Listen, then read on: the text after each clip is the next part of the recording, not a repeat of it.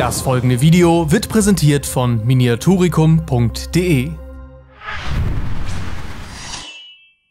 Dies, meine Freunde, ist das vorläufige Finale unserer Road to Core Space. Nachdem Philipp und Mark in der letzten Folge ihr erstes Spiel hatten und zeigten, dass man Core Space auch als Run-and-Loot-Game zocken kann, dachten Ernie und ich uns heute, ach, da muss mehr Action rein. Gespielt wurde von uns die erste Kampagnenmission. Allerdings nicht als Kampagne, sondern als normales Einzelspiel, weshalb unsere Figuren keine weiteren Upgrades erhielten, sondern in ihrem Standard-Loadout genutzt wurden. Das Missionsziel ist es, einen Datenträger von einem der drei Zivilisten zu ergattern. Welcher Zivilist es ist? Ja, das wissen wir nicht. Aber haben wir denjenigen Zivilisten überredet, uns die Daten zu geben und hat er sie auch wirklich bei sich, dann gewinnt der Spieler, der die Daten in seine Luftschleuse, also seinen Startpunkt zurückbringt. Als Crew hatte jeder von uns nur zwei Trader zur Verfügung. Ernie entschied sich für seine Captain Ariana und für das Alien Gug. Ich hingegen nahm meinen Captain Weaver mit und die Figur, weshalb ich überhaupt diese Crew haben wollte, Mac, der nette Roboter von nebenan. Kleine Ergänzung zum letzten Spiel. Wir hatten einen Fehler gemacht, was das Überreden bzw. das Anwerben der Zivilisten anging. Diese kann man tatsächlich überreden, Teil der Crew zu werden, aber sie haben viel weniger Möglichkeiten als ein normales Crewmitglied und haben die Chance, jede Runde das Team wieder zu verlassen. Aber das kann ich euch verraten, wird heute nicht passieren. Das Event in der ersten Runde hatte keinen Einfluss auf das Spiel, also konnten wir direkt zur Action kommen. Ich bewegte meinen Captain Weaver direkt nach vorn und übersah total, dass wir direkte Sicht zwischen unseren Luftschleusen hatten. Super, dann bist du dran mit deinem ersten Charakter. Ja, ich fange mit Ariane an, hochmotiviert mein allererstes Tabletop. Und Hast du schon Angst? Äh, Nervosität. Angst nicht, aber Nervosität, weil das wird ja ganz schön gruselig hier. Ernie kannte mich wohl zu schlecht und dachte, dass ich ganz, ganz nett bin. Ha!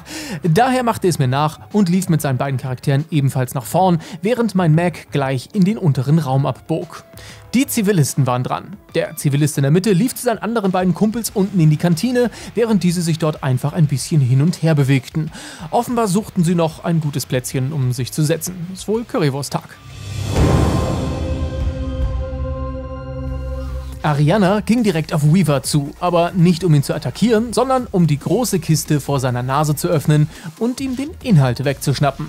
Weaver fand das irgendwie total uncool und stellte sich direkt in Kontakt mit Ariana, aber auch mit der Kiste. Er öffnete diese seelenruhig und schaute, was Ariana ihm übrig gelassen hatte, denn naja, man nimmt ja mit, was man kriegt.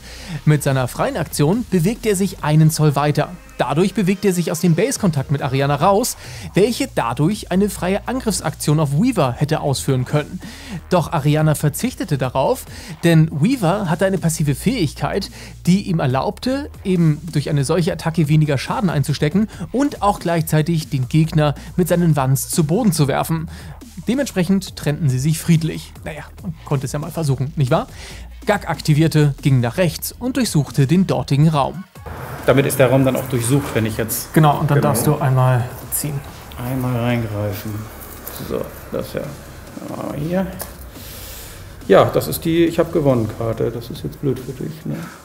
Ach, schade. Ja, schade. So, ich habe eine, eine, Rüstung, ist das ich dachte, ne? ich dachte, die wollten wir rausnehmen. Ich Flag Jack Shiny. Mac öffnete die Kiste vor ihm und fand ein Gewehr, welches auf lange und mittlere Reichweite enorm stark war. Ha! Jackpot. Die Rüstung hingegen durfte er nicht nutzen, da er nur Maschinen-Upgrades nutzen durfte und das einfach keine Maschinen-Upgrade-Rüstung war. Aber der dritte Gegenstand, huiuiuiui. Okay, äh, ich habe die Gewonnenkarte gezogen. Annie. Mhm. Äh, ich habe nämlich die, die Nachtsicht, die Nachtsichtbrille. Ja. Die Sensor Goggles. Das heißt, ich kriege eine freie Durchsuchen-Aktion. Mhm. Dann durchsuche ich den Raum hier und ziehe einmal ein Kärtchen und habe oh, eine Granate. Dann legen wir dieses Ding hier ab. Also eine Granate kann vielleicht gar nicht mal so verkehrt sein. So, dann habe ich eine Aktion noch frei und damit bewegt sich Mac. Ja. Alter, da habe ich aber offenbar die epische Truhe geöffnet. Die Zivilisten waren an der Reihe und irgendwie hatten sie alle den Drang, nach unten zu laufen. So. Laufen alle vor uns weg. Ja, mein Plan wird gerade boykottiert. Die laufen alle vor uns weg. Die dritte Runde begann ziemlich gut. Das Event ließ jeweils zwei zufällige Gegenstände in kurzer Reichweite zu jeweils einem unserer Charaktere erscheinen. Ich glaube wirklich, wir sind hier im Loothimmel gelandet. Ernie platzierte die Gegenstände rund um Ariana und ich um Mac. Jetzt wurde es aber interessant. Ich aktivierte als erstes Weaver. Dieser war genervt davon, dass sich alle Zivilisten nach unten verdrückten, weshalb er mit beiden Aktionen hinterher joggte. Denn immerhin geht es ja nicht nur ums Looten, sondern halt auch darum, jemanden den Datenchip abzunehmen. So, Ariana hat die schnellen Schuhe an. Ich habe ja, Entschuldigung, das ist immer wieder. alles gut. Ich habe ja praktisch 10 und einen frei und wäre dann ja bei ihr hier. Aber das hilft mir noch nichts, weil ich dann keine Aktion mehr habe, um mit ihr zu reden, Genau. richtig? Ariana hatte aufgrund ihrer Fähigkeiten nicht nur eine Standardbewegung von 4, sondern von 5 Zoll. Daher ist sie schneller als der Rest. Ich will auf jeden Fall hier. So, schön auf jeden Fall in der Mitte des Raumes, eines offenen Raumes zu allen Seiten. Das ist immer, So muss das doch sein. so spiele ich Call of Duty. Und bin fertig. Okay, darf ich einmal? Mac ist dran. Lange Reichweite, hä? Das ist eine lange Reichweite.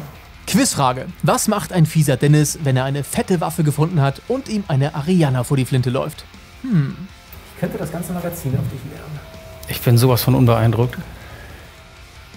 Aber das ganze Magazin leeren bringt nichts, weil es bringt mir, nur- gibt mir nur zwei Würfel dazu. Und ich habe, wenn ich jetzt auf lange Distanz auf dich feuere, drei Würfel. Ich glaube, das reicht mir erstmal. Also, ich gebe erstmal eine Munition aus. Dadurch wird es laut. Bam, bam, bam. Und die Purge starten dabei. Ich nehme drei Würfel und feuere natürlich auf deine Anführerin. Ja! Drei Schadens. Mhm. Trägst du eine Rüstung? Nein. Drei Grüne weg, ne? Grüne weg. Gott. So etwas kann nur ein eiskalter Roboter vollbringen. Jeder Charakter startet mit sieben gelben Munitionspöppel. Für jeden Schuss muss ein Pöppel entfernt werden. Dabei ist es vollkommen egal für welche Waffe, das ist halt universelle Munition. Hat ein Charakter keine Munition mehr, kann er auch nicht mehr feuern. Dafür gibt es aber überall Munition zu finden, mit der man nachladen kann. Jeder erste Schuss, der pro Runde abgefeuert wird, gibt einen Pöppel auf die Bedrohungsleiste obendrauf. Normalerweise nimmt man den gelben Munitionspöppel, den man gerade verbraucht hat dafür. Wir haben aber einfach einen schwarzen dafür verwendet. Okay, ich habe eine zweite Aktion und das fand ich gerade sehr erfolgreich. Er legt an Mac, weil er ist eine seelenlose Maschine. Er sieht noch ziemlich niedlich aus. Und äh, mit einem Lächeln ohne sein Gesicht feuert er einfach nochmal auf dich. Ja. Wie mein alter Herr immer sagt, am Schluss werden die Toten gezählt. Drei Schaden. Das ist nicht so schön. Bin ich tot? Zumindest liegst du erstmal auf dem Fußboden. Gut. First Blood für Mac. Wir haben ja gesagt, dass wir dieses Mal auf Pazifismus schauen. Ja, also okay, ihr wisst schon. Wenn ein Charakter zu Boden geht, ist er erst einmal bewusstlos. Er verliert alle Gegenstände, die er mit sich herumträgt. Andere Charaktere können diese dann nun aufheben. Allerdings können freundliche Modelle bewusstlose Charaktere wiederbeleben. Dazu müssen sie aber zuerst in Base-Kontakt mit ihnen. Gag war verwirrt ob der Entscheidungen und öffnete als Übersprungshandlung erst einmal die Kiste vor ihm. Dort fand er 2000 Credits, die nachher nur zwei Siegpunkte wert waren, und ein ordentliches Gewehr, welches er anlegte, genauso wie die Rüstung, die er fand. Denn ein wenig Schutz äh, scheint doch relativ wichtig zu sein. Zeit für die Purge. Da wir jetzt im Guarded-Modus waren, wurde gewürfelt, ob Purge kommen und es erschien ein Harvester unten rechts. Dieser rann sofort in die Kantine und sah die Zivilisten dort. Diese schienen sich vor dem neuen Gast erschrocken zu haben und verkrochen sich. Irgendwie witzig, was der Zufall manchmal für Geschichten schreibt. Gut, Ariana macht jetzt einfach mal, ich entscheide, dass sie nichts macht. Ne? Eine gute Ist ja, ne? Also einfach. Und äh, von daher geht Gag. Wofür steht Gag? Äh, ganz armer Kollege im Moment. ich brauche also einmal den. So, ich kann also sowieso nur fünf gehen, ne? Vier. Vier plus die freie. Achso, ja, das, kannst du machen, genau. So, Dann und kannst damit. Du noch, nee, du kannst, dann kannst du nochmal vier gehen, wenn du möchtest.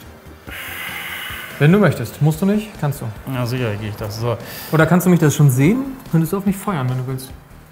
Du bist zumindest Weißt du was, das mache ich jetzt einfach. Ich mache es einfach. Ach ja, Rache ist Blutwurst. Gag feuerte auf meinen Captain, der aber in Deckung stand und dadurch einen Schaden automatisch abwehren konnte.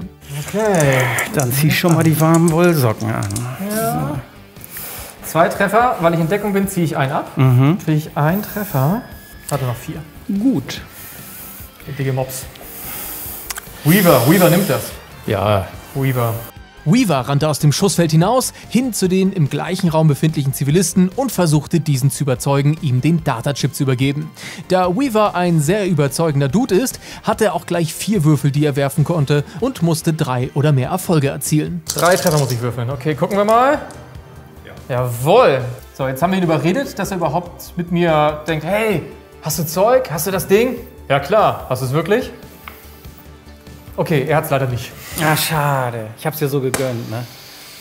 Echt, also. Mac starkste schnellen Schrittes direkt nach unten und trat in die Kantine ein, in welcher sich die anderen beiden Zivilisten aufhielten. Danach startete die Purge-Phase. Ein Harvester traf oben rechts ein und rannte Richtung Gag. Der Harvester, der schon in der Kantine war, näherte sich jetzt bedrohlich den Zivilisten. Und diese liefen fröhlich wie aufgeschreckte Hühner hin und her. Die Eventphase zeigte, dass das Spiel Ernie hasste, denn in dem von ihm durchsuchten Raum erschien plötzlich ein Harvester, direkt hinter Gags Rücken. Weaver war das alles gar nicht so geheuer und er rannte nach unten in die Kantine, um mit Mac zusammen die beiden Zivilisten einzukehren, also um sie bald zu überreden. Gag lief ebenfalls nach unten. Max erste Aktion, das messe ich immer nicht ab, er geht hier hin. Mhm. Max zweite Aktion ist, ich überrede dich mit einem Skill von 1. Schafft das überhaupt Ja. bei dem? Das ist der Zivilist, das ist der Butler. Leider nicht, er hat ihn nicht überredet. Ich verstehe nicht, warum er nicht binär spricht. Tja. In der Purge-Phase tauchte noch ein Harvester auf. Langsam wurde es echt voll auf dem Tisch. Dieses Mal links in der Mitte. Außerdem tauchten gleich zwei Devastator unten rechts auf und das ist nicht gut, denn diese Jungs können schießen. Die beiden oberen Harvester rannten, wenn auch nicht allzu schnell, hinter Gag her. Der neue Harvester links versperrte Mac den Rückweg, während der Harvester in der Kantine auf Weaver und die Zivilisten zurannte. Die Devastator betraten die Kantine und hatten Sichtlinie. Auf Weaver. Verdammt. Ja, dann würde ich sagen, Distanz. feuern Sie auf meinen Typen hier, weil der am nächsten dran ist, ne? Ja. Hoffe ich jetzt natürlich nur das Beste für dich. Ja, natürlich. Ja, drei. Oh, warte, warte, warte, warte. Da muss ich, äh, da muss ich Skill einsetzen. Das ist äh, ein bisschen sehr heftig. Okay, ich muss zwei Skills ausgeben. Dann kann ich nämlich Walk It Off machen. Das ist eine Reaktion. Da kann ich den Schaden um zwei reduzieren. Das heißt, ich kriege nur einen Schaden. So. Der zweite kann feuern. Oh, das muss ich leider nochmal machen. Du würfelst zu gut. Tja. Zwei Skills und dafür verliert er auch noch einen Lebenspunkt. Autschen. Gut.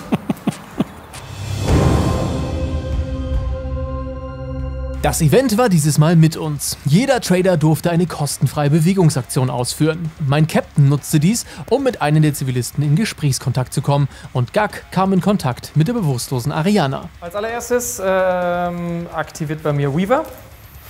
Und der versucht ihn zu überreden.